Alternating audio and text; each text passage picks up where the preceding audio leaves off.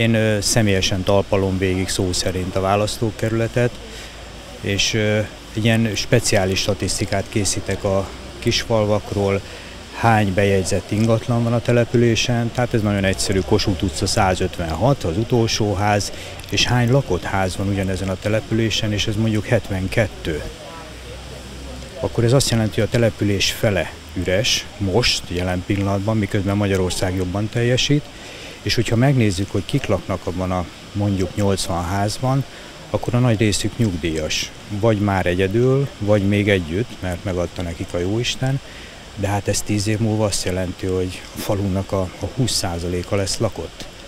És Magyarország állítólag jobban teljesít. Tehát a vidéki falu program az most éppen kerékpárutakat épít Somogy 2-ben, mert annak a, annak a 80 nyugdíjasnak éppen kerékpárút kell, miközben maga a falu meg megközelíthetetlen, olyan infrastruktúrája van a körzetnek.